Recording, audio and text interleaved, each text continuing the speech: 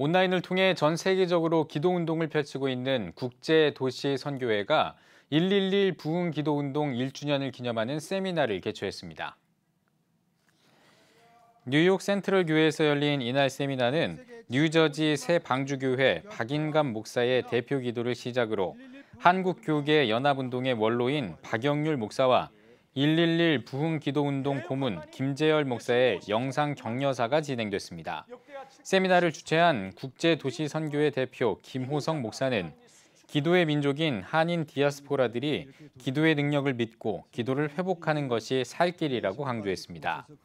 이어 강사로 나선 도미니카 기도 군대 대표회장 최광규 선교사는 하나님께서 7명으로 시작한 기도 운동에 7천 명의 동역자를 붙여주셔서 함께 기도했을 때 허리케인이 도미니카를 비켜갔고 교회의 법적 지위를 인정하는 헌법 개정까지 이뤄냈다며 국가의 운명을 바꾼 기도의 역사를 간증했습니다.